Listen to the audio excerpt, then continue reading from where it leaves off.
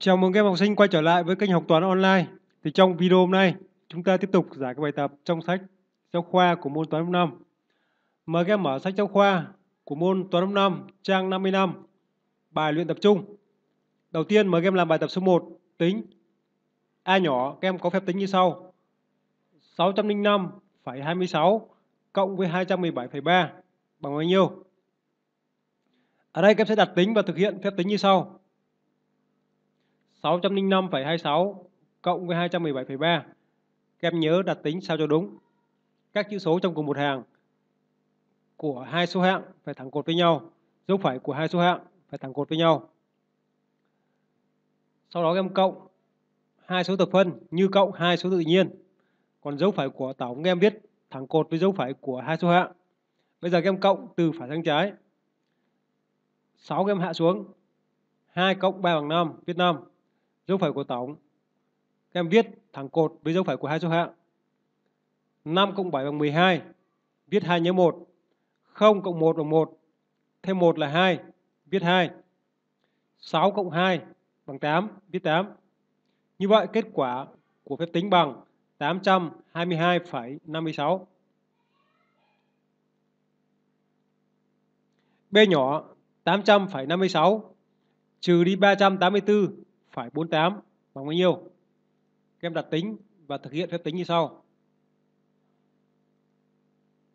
6 không trừ 8, lấy 16 trừ 8 bằng 8, viết 8 nhớ 1. 4 thêm 1 là 5, và đây 5 trừ 5 bằng 0, viết 0. Dấu phải của hiệu, các em viết thẳng cột với dấu phải của số bị trừ và số trừ. 0 không trừ được 4, lấy 10 trừ 4 bằng 6, viết 6 nhớ 1. 8 thêm 1 bằng 9 và lấy 0 trừ đi 9. 0 0 trừ 9, em lấy 10 trừ 9 bằng 1. Viết 1 nhớ 1. Cuối cùng em lấy 3 thêm 1 bằng 4 và lấy 8 trừ 4 bằng 4. Viết 4. Như vậy kết quả của phép tính bằng 416,08.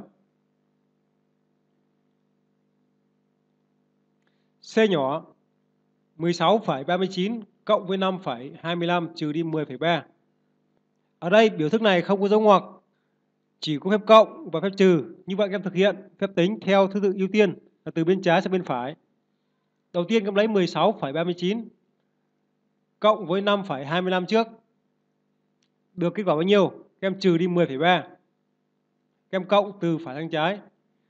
9 cộng 5 bằng 14, viết 4 nhớ 1. 3 cộng 2 bằng 5, thêm 1 là 6, tiết 6. Dấu phẩy của tổng, các em viết thẳng cột với dấu phẩy của hai số hạng. 6 cộng 5 bằng 11, viết 1, nhớ 1. 1 thêm 1 là 2, viết 2. Như vậy, 16,39 cộng với 5,25 bằng 21,64. Sau đó các em lấy 21,64 trừ tiếp đi 10,3. Ở đây phép tính này các em có thể nhắm được ở phần nguyên là 21 trừ đi 10 thì bằng 11. Ở phần tập phân 4 kem hạ xuống 6 trừ 3 bằng 3. Như vậy, kết quả của phép tính bằng 11,34. Tiếp theo mời các em sang bài tập số 2 tìm x. A nhỏ x trừ đi 5,2 bằng 1,9 cộng với 3,8. Như vậy x bằng bao nhiêu? Trước khi tìm x thì các em phải làm gọn phép tính 1,9 cộng với 3,8 bằng bao nhiêu? 1,9 cộng với 3,8 9 cộng 8 bằng 17 Viết 7 nhân 1 1 cộng 3 bằng 4 Thêm 1 là 5 Như vậy 1,9 cộng với 3,8 là bằng 5,7 Bây giờ các em tìm x Viết x trừ 5,2 bằng 5,7 Thì ở đây Muốn tìm x Các em phải biết được x đóng vai trò như thế nào Trong phép tính.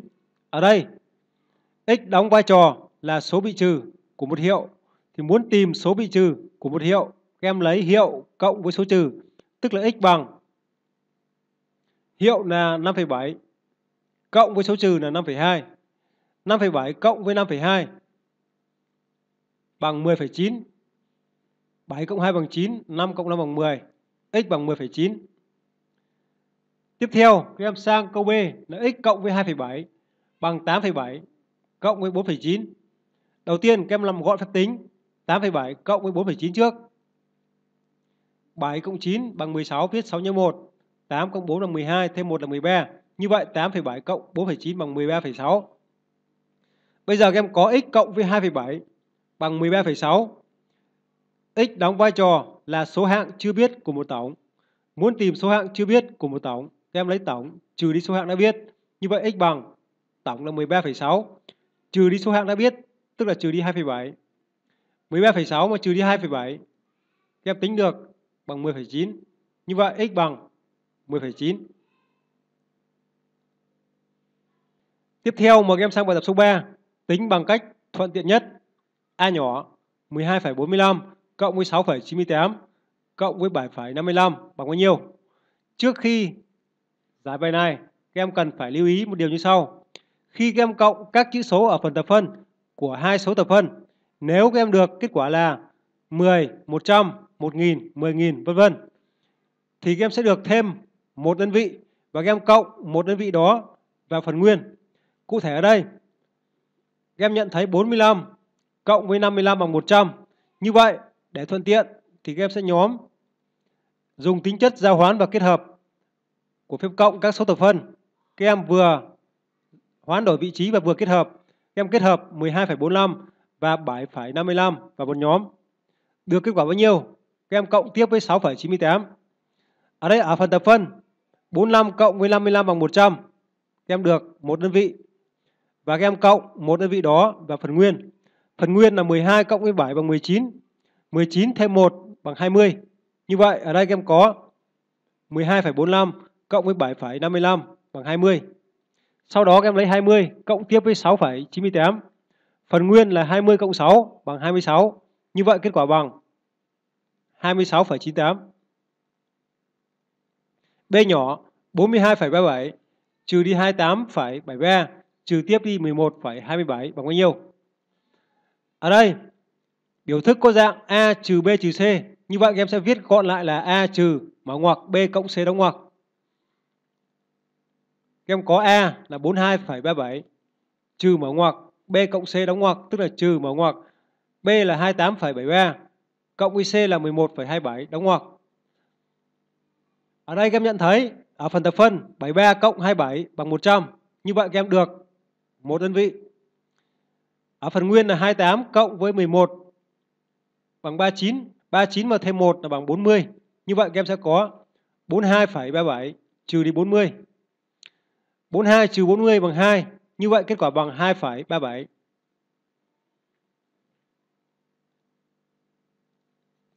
Tiếp tục mời các em sang bài tập số 4. Bài tập số 4 có nội dung như sau.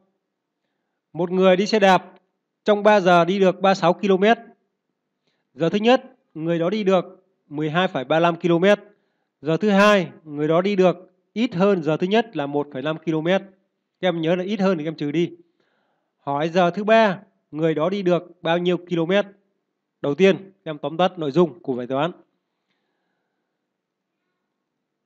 Giờ thứ nhất, đi được là 13,25 km. Giờ thứ hai đi được ít hơn giờ thứ nhất. Và phần ít hơn này là 1,5 km. Giờ thứ ba chưa biết. Biết tổng 3 giờ đi được là 36 km. Như vậy, muốn tính được giờ thứ ba đi được bao nhiêu km thì đầu tiên các em phải tính được giờ thứ hai đi được bao nhiêu km. Sau đó các em lấy tổng 3 giờ đi được là 36 km trừ đi tổng của giờ thứ nhất và giờ thứ hai. Các em sẽ tìm được là giờ thứ ba đi được bao nhiêu km. Cụ thể các em có lời giải chi tiết của bài toán như sau.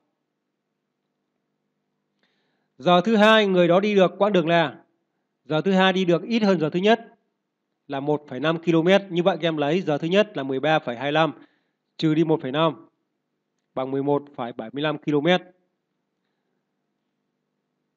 Như vậy giờ thứ ba người đó đi được quãng đường là các em lấy tổng 3 giờ người đó đi được là 36 km trừ đi tổng của giờ thứ nhất và giờ thứ hai tức là trừ đi 13,25 là quãng đường đi được trong giờ thứ nhất cộng với 11,75 là quãng đường đi được trong giờ thứ hai.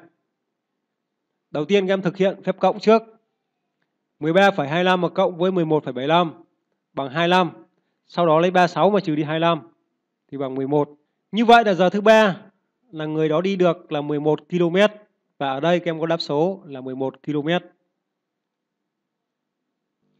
Tiếp theo mời các em sang bài tập số 5. Tổng của ba số bằng 8, tổng của số thứ nhất và số thứ hai bằng 4,7, tổng của số thứ hai và số thứ ba bằng 5,5. Em hãy tìm mỗi số đó. Thì muốn giải được bài toán này, đầu tiên các em phải tóm tắt được nội dung của bài toán. Số thứ nhất cộng với số thứ hai cộng số thứ ba bằng 8, tổng của ba số bằng 8. Số thứ nhất cộng với số thứ hai bằng 4,7, tổng của số thứ nhất và số thứ hai bằng 4,7. Số thứ hai cộng với số thứ ba bằng 5,5, tổng của số thứ hai và số thứ ba bằng 5,5. Hãy tìm mỗi số đó, tức là số thứ nhất bằng bao nhiêu, số thứ hai bằng bao nhiêu và số thứ ba bằng bao nhiêu. Ở đây chúng ta sẽ phân tích và giải bài toán là như sau. Ở đây các em có số thứ nhất cộng số thứ hai cộng số thứ ba bằng 8, số thứ nhất cộng số thứ hai bằng 4,7. Như vậy, các em sẽ thay số thứ nhất cộng với số thứ hai bằng 4,7 vào dòng ở trên. Thì các em sẽ có 4,7. 4,7 cộng với số thứ ba bằng 8. 4,7 cộng với số thứ ba bằng 8.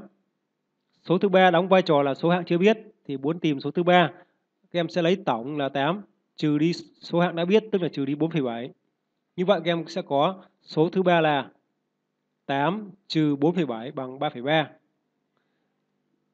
Tiếp theo, các em có số thứ hai là số thứ hai cộng số thứ ba bằng 5,5. Bây giờ các em tìm được số thứ ba là 3,3. Các em thay vào các em có số thứ hai cộng với 3,3 bằng 5,5. Số thứ hai là số hạng chưa biết của một tổng. Thì muốn tìm số thứ hai, các em lấy tổng là 5,5 trừ đi số hạng đã biết, tức là trừ đi 3,3. Như vậy các em sẽ có 5,5 trừ đi 3,3 và bằng 2,2. Biết số thứ ba, số thứ hai, như vậy muốn tìm số thứ nhất rất là dễ. Số thứ nhất là em có tổng của số thứ nhất và số thứ hai bằng 4,7. Số thứ nhất và số thứ hai bằng 4,7. Mà số thứ hai các em tìm được là 2,2.